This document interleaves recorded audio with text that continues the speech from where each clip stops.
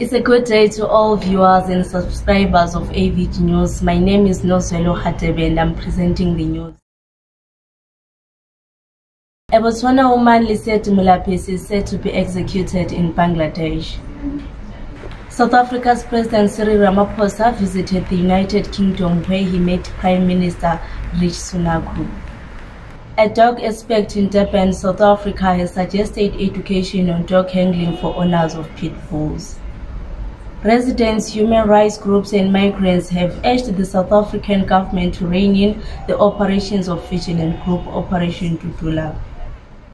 A Botswana woman Lisette Mulapisi is said to be executed in Bangladesh after she was caught with 3 kgs of heroin in her luggage on January 23 this year. The 30-year-old was apprehended upon a search as she landed at Bangladesh's largest and main airport, the Hazrat Shahjalal International Airport, on a Qatar Airways flight from South Africa via Doha with the heroin, drugs and arrested upon landing. South Africa's President Cyril Ramaphosa visited the United Kingdom where he met Prime Minister Rishi Sunak for deliberations on bilateral trade between South Africa and the United Kingdom, investments, infrastructure development in South Africa, and cooperation in the resolution of global challenges. This is a story of a relationship transformed, a relationship of solidarity, of compassion, of a shared desire for equality human rights, and the fulfillment of potential for all. Over the last three decades, this has been a story of trade, investment, tourism, cultural exchange, education, science, and innovation.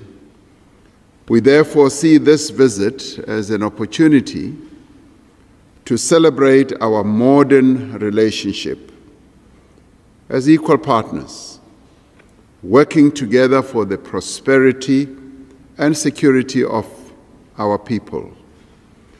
We are grateful that the principles that are represented and safeguarded within these hallowed halls democracy, liberty, humanity, and equality are now at the center of our strong and dynamic bilateral relationship.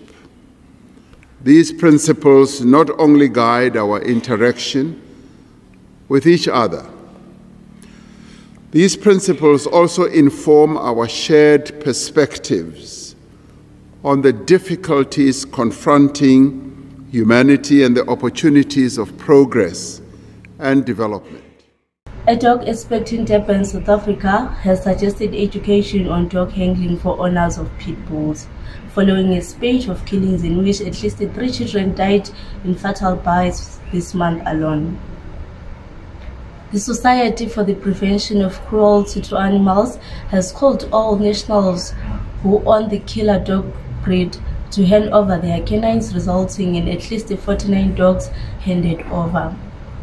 Dog expert Grant Smith says aggressive behavior can be found in any breed but can be altered with the right education. A number of incidents have been reported where residents attacked, killed, and even burned some of the dogs in rage over the killings. Residents' human rights group and migrants have urged the South African government to rein in the operations of vigilant group Operation Dudula, which has gone a crusade against migrants in the country. A few days ago, videos went viral of a group of Dudula members forcing open-air Christian worshippers believed to be from Zimbabwe being forced to burn down their, their church garments. nina amazwi wena nafunifuna anasijwayela shelo anasijwayela